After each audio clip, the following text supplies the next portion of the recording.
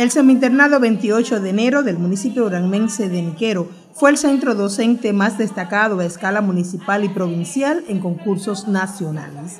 La institución educativa alcanzó dos medallas de oro, una de plata y un reconocimiento especial en las asignaturas de Historia de Cuba, Ciencias Naturales y Lengua Española. Me sentí muy orgullosa por coger medalla de oro y también me siento muy orgullosa también por el apoyo de mis maestros, de mi metodóloga de allá de Bayamo, de la de aquí, coordinadora mía, Mairobi, y de mi familia también porque fueron elementos esenciales para yo poder ganar ese concurso. Cuando me llegó el resultado de que gané el concurso nacional, fue una emoción tan grande que las lágrimas se me salieron. Las maestras orgullosas por mis resultados y el de todas mis compañeras que participaron en ese maravilloso concurso. Por tres años consecutivos, el Seminternado 28 de enero resalta por sus resultados en concursos nacionales, siendo decisivo el trabajo de los docentes, el interés de los educandos y el apoyo de la familia. A pesar de mi corta experiencia, siento mucho orgullo porque he puesto todo mi empeño en la preparación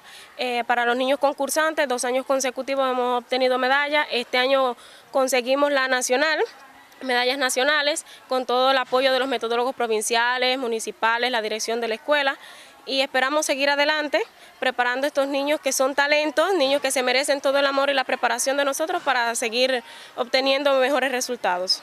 El tratamiento a asignaturas priorizadas constituye una premisa en la preparación de los estudiantes en el seminternado 28 de enero del municipio granmense de Niquero. Como parte de la planificación del trabajo de la escuela, se le da seguimiento a la preparación de los estudiantes concursantes, docentes jóvenes, pero con el interés y la consagración necesaria para lograr resultados a escala nacional.